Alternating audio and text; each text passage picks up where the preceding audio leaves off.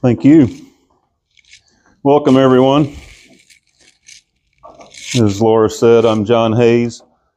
Uh, we're not going to get into too much of the Hayes family farm side of things today. There's a lot of ground to cover here with the six principles of soil health.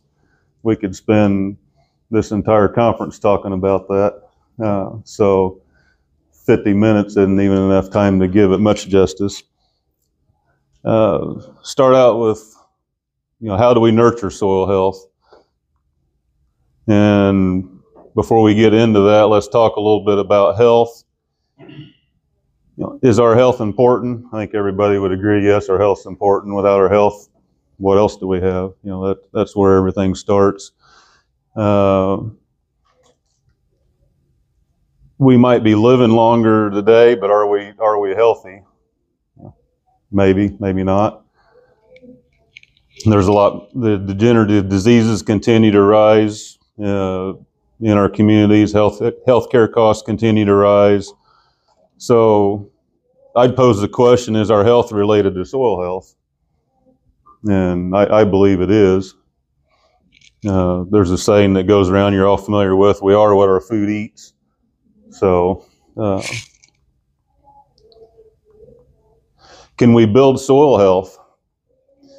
Yes, we can build soil health. Uh, a lot of different ways to go about that. A lot of different, a lot of different methods have been tried. Some successful, some not so successful.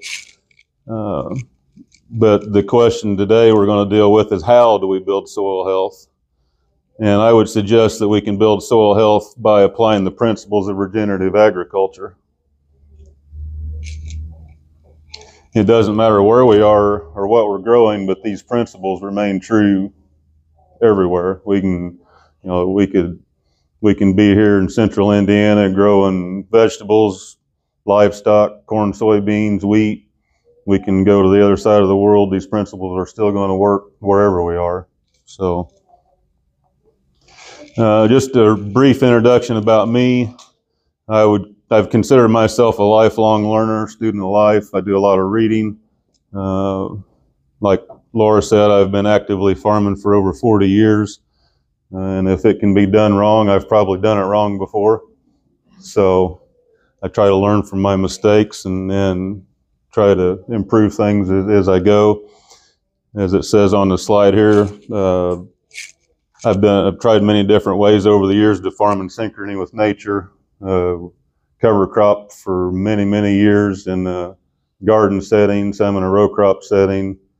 Uh, we've uh, currently we're primarily a forage-based operation. At one time, that was a large commercial hay operation, uh, which I thought was heading in a better direction for soil health. And as I watched things progress over 10 or 15 years, I realized that it was not a better way for soil health. I saw I saw the health of the soil continue to degenerate. So I started scratching my head, wondering what was going on, and and looking for some answers, and came across regenerative farming principles, and believe that that's certainly the answer. So in 2021, I made the commitment to follow the regenerative farming principles to advance soil health under our management and I'm very excited about the results that we're seeing, the results that other people that have been doing this much longer than myself are seeing. There's people out here that have been uh, practicing these principles for over 20 years and, and having some amazing results. So gives us a lot of hope, I think, for agriculture and, and the, the future of the natural resources that we have. And I'm very passionate about sharing that with others, which is why I'm standing here today. So, what is regenerative agriculture? Uh, understanding ag has a definition for it that I really like, and it's simply farming and ranching in synchrony with nature to repair, rebuild, revitalize, and restore ecosystem function, starting with all life in the soil and moving to all life above the soil. If you're not familiar with understanding ag, uh, I'm going to refer to them a fair bit today because I've learned a lot of what what I know and what I practice from that organization. Uh, it's it's made up. Well, it was founded by uh, several people that are somewhat considered pioneers in the regenerative farming circle. Uh, Dave Brandt, who passed away last year, was one. He lived over in Ohio. Uh, Gabe Brown, who most people are probably familiar with. Uh, Ray Archuleta, uh, former NRCS, and uh, Dr. Allen Williams. Currently, Dr. Allen Williams and, and Gabe Brown are both still part of that organization. So, uh, very, very good resource there, which there's some resources at the end of the presentation here, and, and, and they are listed. Start out with we don't know what we don't know. And myself included in this for you know for many years I thought I knew a little bit of something about agriculture and soil health and and and I did but there was a lot of things that I didn't know and a lot of things I've learned in the last few years that have really changed the way I look at things and the way I see things. Uh, there's a major lacking of education and understanding about basic soil health and soil function in our society. And once we begin to study these principles, there's there's a lot of aha moments with people that's oh yeah. Uh, so soil in, in many circles has just become a medium just to hold the plant upright, and then we're going to put all the inputs in there that we can to to support that plant while it's growing. Uh, typically, the focus is put on soil chemistry and or technology, and both of those things have, have come a long, long way as far as advancements. Uh, but there's another way to look at things, and that's and that's the education piece or the lack of understanding piece that I think, or that I want to talk about today. And that's biology. Biology is the key to soil health, and if we can do things to promote biology within the soil, the the soil will become healthier. It'll start functioning properly, and maybe we don't need as many commercial inputs. As we all know, they keep getting more expensive. so, what promotes soil biology? Uh, carbon. Carbon really drives the whole system. And I'm not talking about carbon credits, but I'm talking about the actual carbon. Uh, the six principles of soil health drive or, or promote the environment for soil biology to work properly. So biology can correct the chemistry for us if we'll let it. And but we must create an environment for the biology to flourish. What does soil or what does healthy soil look like? Well, first it's well aggregated. You say what's what's aggregated? That's something that not that long ago I really didn't have a very good grasp on was what what well aggregated soil looked like, even though I'd seen it many times in my life. Uh, it, that it looks similar to chocolate cake. It has a good smell to it. Let's just you know what what is a soil aggregate? It's simply particles of sand, silt, and clay bound together uh, by biological glues. And I won't go into all the science behind that just for the sake of time. And there's people that are even better that just explaining that than what I am. So, but why is why is aggregation important? Um, it's a key indicator to how well soil is functioning and how much life is in your soil. When when you have a well aggregated soil, the only reason it's that way is because the biology is working. If the biology is not working, you won't have aggregation. Uh, it creates pathways for water and air to infiltrate the soil. It creates an environment for the nutrients to cycle properly. How long does an aggregate last? Uh, I've heard said that typically not more than about three or four weeks. So we have to constantly be rebuilding the aggregates in the soil. And we're going to do that through biology in the soil. So when we have well aggregated soils, the four ecosystem processes are able to function properly. Here's a picture of, yeah, I don't know what that looks like out there, but there's a picture of well aggregated soil. You can see an earthworm right in there. You look at this, it, it, things are kind of clumped together. And if you go dig around out, if you go dig around out in a, say an in row in a cornfield, you're not going to find this. But if you go dig around in the fence row that hasn't been farmed for the last 40 or 50 years, you will likely find soil like this, especially if there's a lot of grass growing there. So where do we start? Uh, let's start with talking about the four ecosystem processes, what they are, just a little bit of how they work, and then we'll move into the six principles. Uh, so the four ecosystem processes are energy flow, water cycle, mineral cycle, and diversity, or sometimes called community dynamics. Energy flow is simply sunlight being converted into a photosynthetic material that goes into the soil and, and feeds the life in the soil. Energy flow is all about solar energy or photosynthesis. Um, unlike the water cycle and mineral cycle, solar energy does not cycle, but it just flows. So it flows from the sun to the earth. It's necessary, obviously, for everything on the planet to survive. So the, the importance of an adequate solar panel uh, to capture that energy, we're going to talk a little bit about that as we go through this today. Uh, plant leaves are that solar panel, and we want as big a solar panel as we can possibly have to collect that solar energy and, and convert it into a usable material within the soil.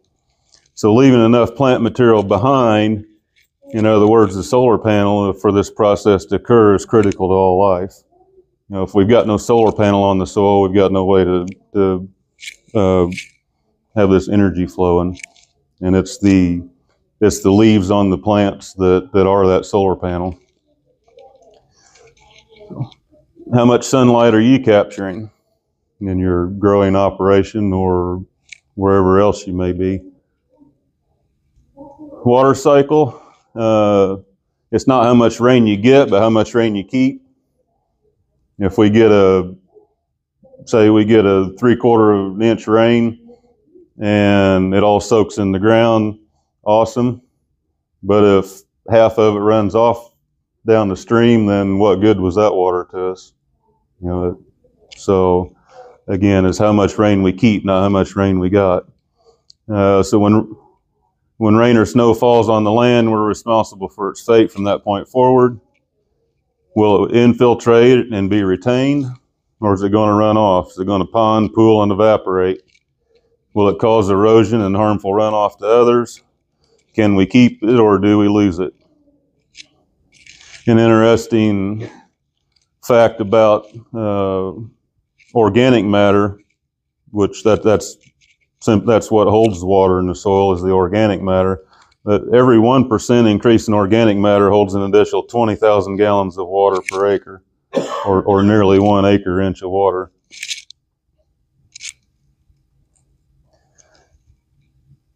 How much water are you capturing in a rain event? You getting all of it or just part of it? The mineral cycle be the third of the four ecosystem processes. Uh, the mineral cycle is a complete exchange uh, that occurs with the soil microbiology, or not a complete, a complex exchange that occurs with soil microbiology. It's cycling the nutrients from unavailable form to available form and back again. The three phases of an effective mineral cycle are one, moving minerals from below the soil surface to above, two, placing those minerals on the soil surface, and three, uh, moving minerals from above the soil surface back into the soil. And on the note of moving minerals back into the soil, nitrogen's obviously a big a big nutrient that we're always concerned with. Uh, interesting fact that 78% of the air we breathe is nitrogen. So not not a nitrogen floating around here, but yeah, we're we're constantly buying nitrogen and adding nitrogen to, to our soil to to make up for a improperly functioning mineral cycle. Uh, the mineral cycle is a critical part of a larger carbon cycle and is enabled by a highly functioning water cycle. Grazing, foraging, or yeah, grazing, foraging, and browsing animals are an important important part of this process. We're going to talk about that a little more later. So more on the mineral cycle. Uh, this kind of came as a shock to me when I first heard this, but our soils aren't deficient in minerals, but they're just deficient in available minerals, they're available in plant form. Uh, there's a soil test that's called the total nutrient digestion digestion test. There's been many samples taken across this country and, and around the globe that what the soil the total nutrient digestion test does is just measure all the nutrients available in both available and, and unavailable form within the soil. And it's been discovered that there are no deficiencies of minerals in any one of these tests anywhere in the world. So you're probably thinking, well, why are we why are we adding nutrients all the time? Why are we putting fertilizer on? Well, it's because the mineral cycle again is not functioning as well as it could, and then we're required to come along and, and put commercial or added inputs on. So is your mineral cycle functioning properly? How many applied nutrients are you using? The fourth uh, pro ecosystem process, diversity. Uh, Lakota, the, the Native American tribe, the Lakota or the Sioux Indians, that are often, they, they have a term or a word that I won't try to pronounce, but it essentially means all are related. And that's not, that doesn't mean all of us as human beings are related, but that everything in life is related. There, each thing has its own uh, purpose, but, but we're all intertwined and, and we're all designed to, whether it be us and the plants or the animals or the or the microbiology in the soil, but everything's designed to work together in this community dynamic situation. uh, this process is also sometimes called biological succession. It involves the changes and development of all living things. And a fundamental rule of succession says that a species will move into an environment when the conditions are suitable for its establishment and will move out of that environment when conditions become unsuitable for its reproduction. And there was some talk about that with your uh, composting up there. Yep. So, are you promoting or discouraging diversity in life? How do we support the four ecosystem processes? Well, I would suggest that we support them with the six principles of soil health. And those six principles are know your context, keep the soil armored, minimize disturbance, keep a living root in the soil, diversity, and livestock integration. And we're going to go into a little more detail on each one of these six. Uh, the first principle, know your context. Our soil health practices are a reflection of ourselves and our stewardship of the land. Uh, context is so important with what we're doing because of, of many different things. But you know, ask yourself, what are you trying to accomplish? What's the historical context of of this piece of ground? Uh, is what I'm wanting to do suitable for my environment? Is it suitable for my management style? Is it suitable for my lifestyle? Uh, are you and the people that are working with you on board with with this idea, whatever it is we're doing? Uh, or what are your financial resources? Peer pressure is sometimes a concern. You know, what what's my next door neighbor think of what I'm doing? You know, I was in a session earlier, and I, the the guy mentioned I got to I got to till in real straight rows because if I don't, the neighbors are going to look at me funny. So it's it, it's a sin to plant crooked rows of corn. So Uh, con- context is very important. That, that principle has, in more recent years, been added as, as a sixth principle, so to speak. These other five principles have been recognized for much longer, but uh, context has been added in here, and, and, and rightly so, I believe. So, is there anything wrong with the context in this picture here? You know, just put that. I picked that out there. You know, uh, that that's a commonly accepted practice. There, we've all eaten beef that's come from that practice, but you know, what's wrong with the context there? There's no plants. Yeah, they're standing out there in dirt and the sun, and um, second principle uh, is keep soil surface armored. I guess I should say, along as we go along through here, if there's any questions, just let's let's discuss some of those. Uh, hopefully, there'll be some time at the end for questions. But as we go through, I'm happy to entertain some questions as well. Second principle: keep the soil surface armored. Uh, nature does not like bare soil. It's always trying to cover and protect itself. And every time you go out there and you, you till the soil up and you plant a crop in it, uh, reg- whether the crop comes up or, or not, you'll find that this is true. What happens? Something's going to grow. Get what you call weeds. Yeah, we get what we call weeds. Uh, so think of armor as the skin on the soil. And proper armor reduces or prevents water evaporation. Proper armor keeps soil temperatures conducive for life in the soil. Uh, soil temperatures above 90 degrees begin to inhibit biological activity. And when you start getting up around 140 degrees, you start killing life in the soil. Some a little bit earlier than that, some a little bit later than that, but uh, the the temperature of the soil is, is very important to the microbiology. There's a slide here in a minute that illustrates that really well. So with proper armor, the soil life or the biology will begin building aggregation from the surface down. Uh, the mineral cycle will begin to function properly. And back, you know, you're going to see aggregation come up here in this presentation a fair bit of, and aggregation, as far as I know, always begins right there at the soil surface, at or near the soil surface, and it starts working deeper and deeper if we continue to promote the environment for that to happen. But it won't start down here and work its way up. It's always starting at the surface and working its way down. Uh, and carbon feeds this entire system. The more biology in the soil, the more carbon is needed to feed that biology. The carbon is the food for the biology. This slide here is probably one of the most important slides I've seen uh, in regards to promoting soil health. And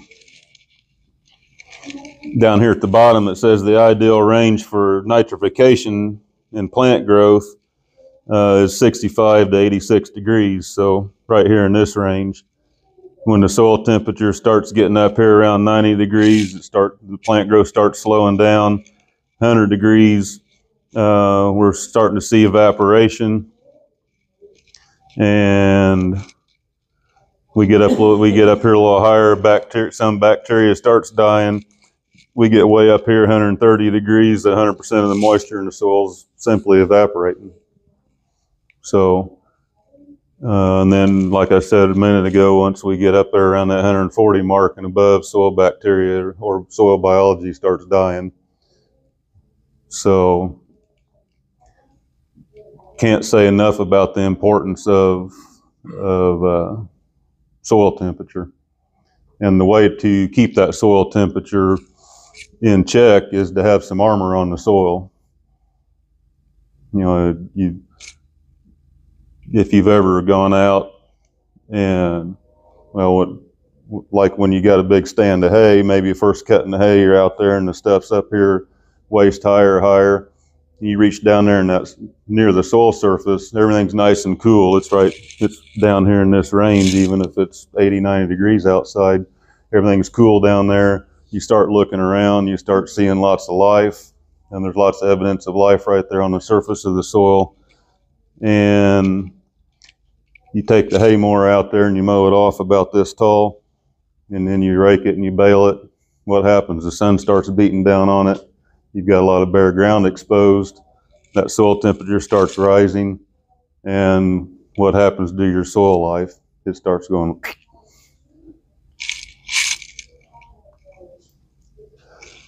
Uh, this slide here is, is example of soil armor. Uh, I took this out in the garden the other day. Uh, we we enjoy growing some garlic, and we no-till our garlic into a nice uh, mulch bed like this right here. So lots of armor on this soil. You know, sun can shine on it, not gonna not gonna raise the soil temperature, and it's also keeping that moisture in the soil. The third principle is minimize disturbance. In nature, there is no mechanical or, or chemical disturbance in the soil. Uh, mechanical disturbance, which uh, essentially most commonly is tillage, releases carbon from the soil into the atmosphere and leaves the soil surface unprotected. Tillage destroys aggregation. I'm not saying that you shouldn't till, but you ought to at least think about what you're doing when you are tilling because uh, there might be times you deem it necessary to do some tillage, but recognize what it's doing to soil health and try to try to work with that in mind. Because again when when you till you are going to destroy soil aggregation. You're taking you're taking the process backwards when you do tillage.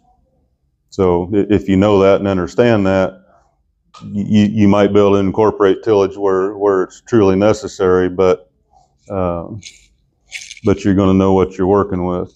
Chemical disturbance also inhibits life in the soil. You know, every well, synthetic fertilizers are, that not necessarily fall under this category, but uh, all of the herbicides, the pesticides, the fungicides, all those things we put on those. What is a side? You know, side side equals death, right? So anytime we put one of those sides on the soil, we're killing something, and we're not just killing the thing that we're targeting, but we're killing many other beneficial things along with it. So think about that as you're applying chemicals. And again, there there might be a place. You know, we can sit here and debate that all day long, but there might be a place to use to use certain uh, chemicals, certain pesticides, but just understand what you're working with again, and and and use them accordingly. You know, in the in the regenerative space, there's there's there's purists that won't use any of this stuff and then there's people that are practical and say, okay, well, we still have to raise a crop, make a living. And I, I think you can find some balance in there. You know, they're, they're oftentimes just for practical reasons. You might have to, to use some chemicals. You might have to do some tillage. You might have to put some fertilizer on. Uh, but the key is to minimize the disturbance. And if you keep that to, if you keep the disturbance to a minimum, you're going to promote the life in the soil. Uh, this is some cabbage we planted last late last summer for fall cabbage. Uh, we no-tilled the transplants into heavy soil armor, so there's essentially no disturbance to the soil, plenty of armor on the soil. Uh, there's some other living plants in here, which we'll talk about a little more later. I don't get I don't get concerned with those like I used to. Matter of fact, now I kind of welcome them. The fourth principle, keep a living root in the soil. Living roots not only hold the soil in place, they also help build soil aggregates. Uh, the living roots are pumping uh, exudates off of their roots, uh, which feed a whole host of soil microorganisms, which feed our plants. And it's those, those exudates that are the glues that start holding those particles of sand, silt, and clay together and forming that aggregate in the soil. So the living with without a living root in the soil, I'm not sure you can build a soil aggregate. The living roots pump carbon into the soil. Uh, we were talking about that energy flow a while ago. Uh, we're taking that sunlight and turning it into something that's that's usable to the to the microbes in the soil, and a lot of that's in the form of carbon, liquid carbon. Uh, the carbon drives soil health. Like I said earlier, it's what the biology feeds on. Living roots are a key to properly functioning mineral cycle. And the diversity of living roots will cycle more nutrients in plant available form. We'll talk about diversity more here in a minute, but a single species of plant's going to do a, a, a, specific thing, another species is going to do another thing. So diversity of living roots will will build or will promote uh, diversity and, and uh, soil aggregation better than a than a single species will. And ideally, there should be a living root in the soil year round.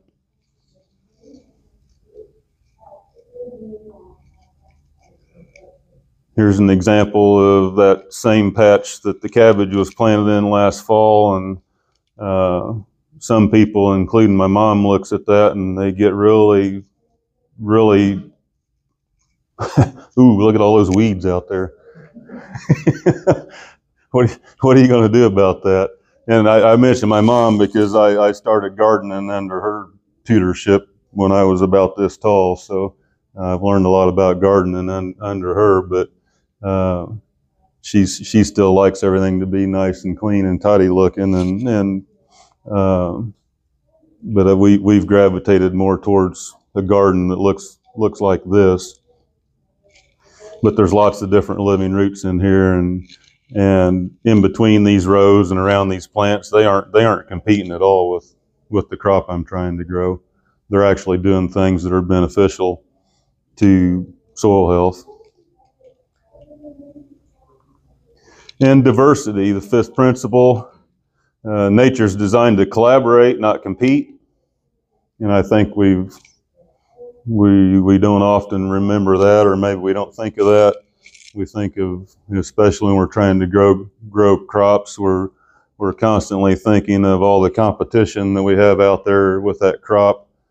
Uh, maybe not. You know, may, maybe that's not really what's going on. Is it is it truly stealing the nutrients that the crop is needing to grow? Is it truly stealing the water? Not if you have all these things working the way they should be working. Uh, nature abhors the monoculture. Again, remember the Lakota saying, all are related. Every plant grows for a specific purpose. Take advantage of that purpose. Uh, mix it up with a diversity of plants, microbes, insects, wildlife, livestock, all of these things are, are important uh, for soil health, not only in the ground, but above the ground as well. You know, the birds and the insects above the ground do, do things to support this process also. So let all these things work in harmony to build soil health. Uh, when in balance, we don't see as much pest pressure or weed pressure. And what is a weed? I asked that question earlier, and I, I, uh, quickly I got the right answer. But a weed simply a plant whose virtues aren't yet recognized.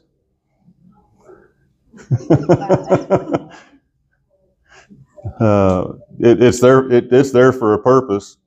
Uh, when Canadian thistle grows, it's there for a purpose and it's a low succession plant. And I mentioned Canadian thistle because we we've had a fair bit over the last few years in, in some of our garden area, um, but it's there for a purpose. It's cycling a certain uh, mineral. It's doing a certain job, and once that job's done, that that the conditions won't be favorable for that plant any longer, and it's going to and it's going to move to a higher succession. Something else is going to grow and take its place. So keep that in mind. Uh, some examples of diversity, uh, obviously diverse perennial pastures, multi-species cover crops, companion planting when we plant things. Uh, instead of just planting a single a single crop, can we Can we plant one, two or more crops together that complement each other and, and grow them together? Uh, interseeding, uh, we can have stacked enterprises, we can have multi-species grazing, but it's important to promote diversity everywhere that we can. Uh, just a picture of some perennial pasture that's decent amount of diversity in there. And when we're talking diversity, I, I don't know how many species of plants are in here, but I can I can see a handful of them. Uh, and a handful is not really a diverse pasture. You know, once, uh, I can go around throughout different times of the year, and I can probably count 20, 20 uh, at least a couple of dozen, you know, 25 or so different species of plants that are now starting to appear in, in our pastures, uh, where they were once just two different species in, in the hay ground. Started out with an alfalfa orchard grass uh, hay crop in there, and that's evolving through this particular type of management that's now evolving into a more diverse uh, crop. You know, we've, like I said, I, I can find 20, 25 different species growing out there. Uh, some people that have been at this for a lot longer than me are, are able to identify a hundred or more species out there in their pasture. So, uh, the six principles to integrate livestock. And sometimes this can be challenged, but challenging, but livestock, if managed properly, are a very, very, very powerful tool for soil health. And it's the fastest way that we can build soil health if they're used properly. Uh, cattle return 80 to, 80 to 90 percent of the nutrients they consume back onto the soil in usable form as either manure or urine. And they're producing meat at the same time. So you think about this, and, and I said I've, I've raised a lot of hay, sold a lot of hay in the past. I've taken that hay crop and cutting the entire thing off, and all those nutrients that are in that crop are being taken somewhere else and used somewhere else. Uh, you can liken it to a mining operation. You're exporting the nutrients from here to to somewhere else. But with and with livestock, that's not the case. And livestock also shed biology uh, through. They shed it through their saliva. They shed it through their manure and their urine. Uh, ruminant livestock are, are just big uh, fermentation vats, and there's all kinds of, of life and biology in their gut, and they're constantly shedding that when the when the when the ruminant's taking a bite of that plant, that saliva's getting on that plant and, and doing beneficial things. And then, like I say, the manure and the urine are both landing there in a usable form to the biology and or the plant. So we can use adaptive grazing to grow healthy plants, or I mean healthy animals and healthy soil together. Grazing has been an essential, an essential component of all soils at one time or another. Uh, people say over and over that the the fertility that either is or once was in the Great Plains is is all largely due to the large herds of, of, of not livestock but wildlife, bison and elk that used to move across there and do things that would, uh, you know, they were promoting this this part of the process here.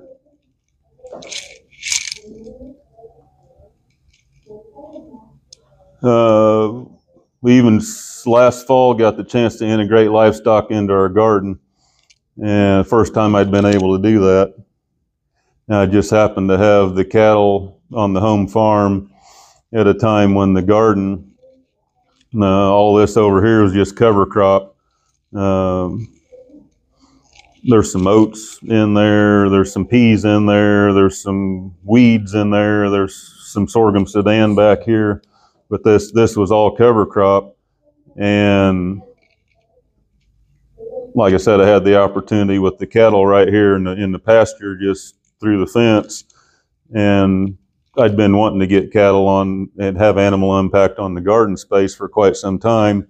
So our cattle were broke to a single poly wire.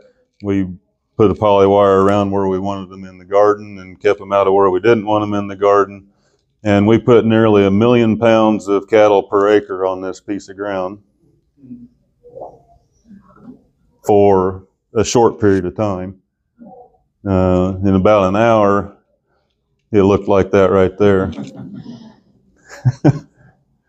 so they've they've taken all of that and run it through their system. And of course, it doesn't make it it doesn't make the complete journey through their system in in the time that that uh, they're on this in this hour, but they're urinating and dropping manure out here, so that's that's helping. And this cleared this off, so to speak. And I say cleared it off. There's still a lot of residue out there, uh, keeping that soil surface armored. But that allowed us to go in there in the fall and, and plant and plant some fall crops in there, right over, right over in this area where you see that tall sorghum Sudan grass. Um, going the wrong way here. That's where we end up. That garlic patch I showed you earlier. That's where it went. So we've got a real nice stand of garlic out there right now. And this morning the garlic's up here about probably six inches tall. Uh, the six principles of soil health are universal. As I said earlier, you can take them anywhere, use them any place. They're, they're going to work the same. Apply them and watch things grow. Uh, what are we looking at here? This is a potato patch. Uh, it's a no-till potato patch. We lay potatoes on the ground in the springtime and we cover them with hay mulch. And this was this was late summer. There's no weeds out there. You see a little sorghum Sudan here and there. That's no big deal. Uh, no weed pressure that way. And when we go to harvest potatoes, we don't use a shovel. We just use our hands and we get down our hands and knees and dig under that mulch and there's the potatoes. So that covers the six principles of soil health, but there's some other things that go along with this that are just as important. Uh, there's three rules of adaptive stewardship as defined by Understanding Ag. The first rule is compounding. Everything we do has a compounding and cascading effect that is either positive or negative, never neutral. And I think that applies to a lot of things in life, but it certainly applies to, to soil health and, and these principles. The uh, next rule is the rule of disruption. Nature becomes stagnant if we settle into a routine with our management practices. Uh, introducing planned and periodic disruptions keep things moving forward. Uh, Dr. Allen Williams describes this uh, or explains this like an athlete. You know, an athlete that's trying to trying to advance and advance and advance. If you keep the same routine all the time, you're you're going to stall out. You're going to hit a plateau. You're going to hit a ceiling. You can't go any further. You have to plan disruptions in your in your routine to continue to, to move forward, or you won't move forward.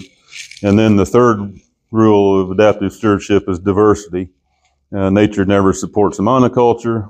You know, we've talked about diversity a lot already, but it's interesting that diversity shows up as an ecosystem process, shows up as a principle, and then it shows up as one of these rules of adaptive stewardship. So you can't say enough about diversity. Uh, implement, implementation tools. I've heard people that have been down this road a lot longer than me and a lot wiser than me say that you need to manage for what you want, not what you don't want. And I'm starting to figure out that that's exactly right. Instead of going out here and trying to rid ourselves of what we don't want in the system, let's try to just manage and promote what we do want. Diverse perennial pastures are, that are adaptively grazed are the fastest way to progress. Uh, we can use no-till. We can use multi-species cover crops, warm seasons, cool seasons. We can use companion planting. Uh, in our walkways in our garden, I've started over the last couple of years. I've started using that as a as a place to grow cover crops, and instead of either going through there and trying to till it and keep keep the weeds from coming up, I'm I'm letting cover crops grow up in there to to to support these principles that we're talking about. Uh, we can use mulch. We can use adaptive grazing. And let's talk just a little bit more about adaptive grazing. Uh, we're cycling the nutrients. Again, the, when you put those those forages into the animal, they're going through that animal and they're coming back out and, and in the form of their manure and urine landing on the soil. And you know, how many times have you well, let's let's even say in your in your front yard, uh, you know, if you, if your dog goes out there and does his thing in the yard, what do, what do you see out there at some point a little while later? A nice little green spot where everything else is maybe not quite as as lush and healthy looking. The same thing's happening when we're putting livestock out here on the soil. Um, the livestock are helping to armor the soil if if they're used properly. Uh, that trample effect, uh, what's what what they're not eating, what they're tra- and what they're trampling, uh, armors that soil. And you got to have a pretty high stocking density to get much trample effect. You know, I mentioned earlier about a million pounds of the acre on that garden. That's not what we always graze at, but um, you can get decent trample effect with oh, 70,000 to 150,000 pounds of uh, per acre. Hoof action is is the, it's working some of that uh, material into the surface of the soil, and it's also massaging that soil and and, and stimulating bio, biological life in there. In adaptive grazing, we're using short grazing periods, uh, typically less than 24 hours, and we're that's preventing the plants from becoming overgrazed. We'll talk about overgrazing here in just a second too, a little bit more. And, but the short graze period is followed by a very long rest period and recovery period that allows the plant time to recover and express itself. Um, in our system, we're shooting for at least 60 day rest periods between grazing, and in some cases, in often cases, I'd like to have uh, much more than that. We had one pasture that we rested last the last half of the growing season last year uh, for about 150 days. So we're able to accomplish specific goals with adaptive grazing. We can move from low succession plants to higher succession plants. We can rid the pasture of invasive species. Um, we're getting where we're going to run out of time here, but uh, getting rid of Canadian thistle is, is certainly easy to do with, with this type of grazing. Uh, bale grazing, we can import some nutrients that way. Uh, we can apply the rule of disruption. We can put some planned disruptions in place here to, to advance things along. We can alter the stocking density, that's a disruption. We can alter paddock configurations, another disruption. We can move nutrients uh, to where they're needed. Uh, we can promote diversity, access the latent seed bank, and talk just a second about adaptive versus prescriptive. Uh, there, there's a if if you're prescriptive, you're going to hit that wall. You're going you're going to hit a certain plateau, and you're not going to go above that. But adaptive grazing it gives you a lot of flexibility to do a lot of different things to accomplish some of these different goals and move things along much faster. Probably another, well, this is one of the most impactful slides that I've ever come across so far uh, as far as our related to our solar panel. And it's talking about the leaf volume removed versus the root growth stoppage. So if we remove not more than 50% of the leaf volume of the plant, then we're going to have very little root growth stoppage, 2 to 4%. Once we go over that 50% threshold, at 60%, we get 50% root growth stoppage. At 80% removal, we get 100% root growth stoppage. Why is that important? This over here talks about it a little bit. Um, here's a here we've taken a plant and we've removed nearly the entire plant, so we've had 100% root growth stoppage. Um, five days later, we just got a little bit of plant left. Down here, we just we just took a portion of that plant, and five days later, look how much plant we've got more than what you know. It's starting to grow back, but look at that solar panel. You know, so that we we're keeping a solar panel here as opposed to right here. Measuring tools, uh, shovel's your best measuring tool. Cheap. Everybody has one. Uh, you go out there, dig around, see what's going on. Uh, thermometer to measure soil temperature, water infiltration ring, re- refractometer, uh, and then there's some soil tests that are available to tell us what's going on too. The power of observation. Uh, this is very important in, in this process. You can't just do something and sit in the house and hope things are working. Uh, you need to get out here and see what's going on. If we know what's going on, we're going to know what to do in a situation. So let's use our senses to see what nature is telling us. Let's pay attention to what we're seeing, what we're hearing, what we're smelling, what we're feeling, what we're tasting. You know, let, let's let's you get out there and walk around and find out what's going on. Uh, Gabe Brown has a saying that, that really means a lot to me.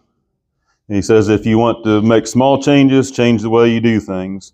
If you want to make big changes, change the way you see things. Yeah. Yeah. Uh, the results of building the soil health we have improved nutrient density in our food, improved human health, improved resiliency in times of drought or in times of excess moisture. Uh, we're going to have less pest pressure, we're going to have more wildlife. We're going to need fewer purchased inputs. We're going to have increased profit margins. You know, let's focus on margins and not on yields. Everybody's sometimes focused on yield, but margins a lot more important than the yield is. Uh, remember, healthy soil promotes healthy plants, which promote healthy animals. And you can build soil health by applying the six principles of the soil health to your operation. Uh, some resources that I'll make available, and my contact information. And I'd like to thank you for your interest in soil health. I'd like to thank Dr. Laura for inviting me and Purdue for putting this conference on. So thank you all. Any questions?